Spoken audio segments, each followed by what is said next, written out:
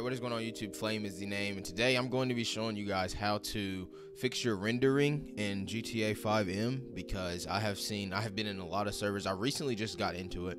I've been in a lot of servers, and most of them do not have rendering like when you're driving through the street or running. There's so many things that are not rendered in the game, and I'm going to show you um, how to fix that. So this is the server that I'm in right now. It took me like an hour and a half to find a good server. This one's okay it's not great, but just for an example, I'm going to show you guys what what you need to do to fix this issue. All right. So I've seen a lot of videos. I watched about four to try to fix this issue because it's literally just that annoying. Apparently none of those worked.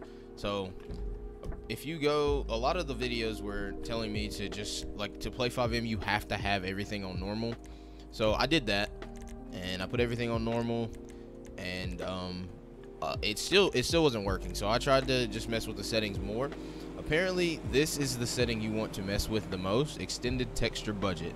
And I turned this all the way up, and it seemed to work. I'll turn it all the way down and see if that see if that shows how bad the rendering is. I need to borrow a car. If you don't, okay, never mind. Maybe maybe you're not the one that I need. Maybe, maybe I need a Escalade or something. Yeah, sorry.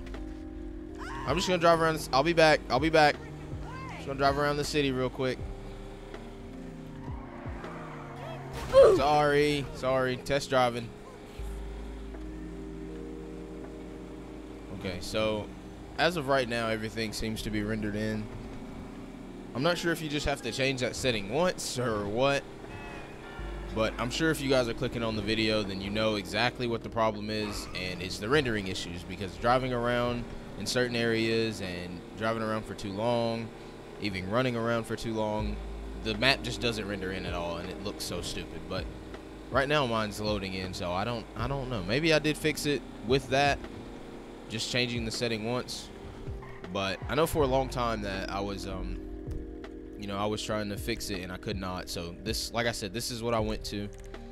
Uh, go to graphics, go to extend, extended texture budget, and just turn this all the way up. And if your PCs can't handle it, I'm sure you probably don't have to turn it all the way up just turn it halfway up or just mess with that setting. Um, I'm gonna test and see if they'll still work on high.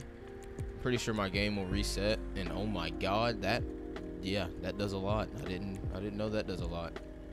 Sure it probably won't be that bad though. Alright so here we are.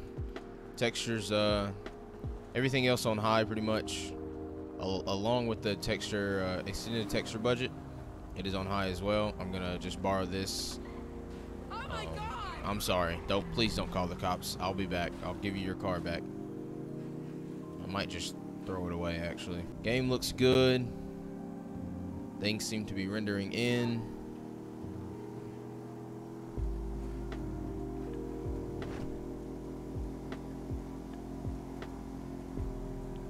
FPS isn't amazing. It's averaging like 82 to 90, 85s. So not bad. I don't really care how much FPS I get on GTA, as long as it's more than 60, because, sorry if you don't get more than 60, but that shit sucks. So yeah, things seem to be rendering in. You might not have to play with FiveM, FiveM on normal. I'm pretty sure it's just the extended texture budget that is the main problem for this, because everything else I have changed has not seemed to work except that, so... Hopefully this video did help you guys out. If it did, be sure to leave a like. Subscribe to me if you have not subscribed. I'm sure a lot of you will not be if you are coming to this video for help because I normally don't do these, but I thought I might as well just get it out there just to help a bunch of people. So if you did like this video, be sure to like and subscribe. And it has been Flame and I'm out.